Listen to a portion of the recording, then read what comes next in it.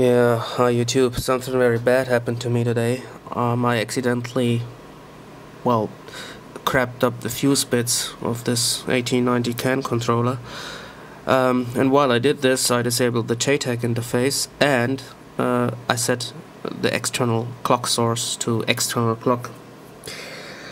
Source of the problem was that um, I seem to have a problem with um, the external uh, crystal oscillator which just doesn't want to swing. And while playing around with fuse bits, I accidentally used the wrong fuse bits. That's very bad. And um, now the problem is it's held into reset, which shouldn't, because the brownout detector was shitted up too. But this shouldn't be that much of a problem when it comes to ISP programming because um, the system is in reset while ISP programming. So and what I did is um, used um, an external clock source. You can see this here. Uh, this is uh, the external clock source um, generated by this um, waveform generator here.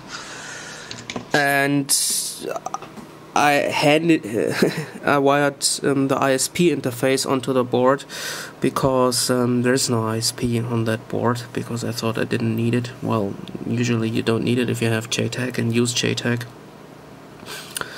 Yeah, but um, whatever I did, it wasn't successful, which means that I'll have to take it out completely and put in a new MCU. Well, problem with that is that, well, I don't have one of those uh, CPU MCUs in stock anymore. That's the bad thing. Also, this expensive AT90CAN. Yeah, well, I have to do something here. Well, maybe some some one of you may have a problem, uh, a suggestion here for my problem, but I know that probably you won't have, but yeah. The wiring is correct, I double checked this. Um, the clock is 6 megahertz, which should be sufficient. I used the STK 500 for programming and I used the JTAGICE in ISP mode, uh, so I tried them both. Doesn't work. Hmm. Bad yeah, that's that's some of the things that happen sometimes.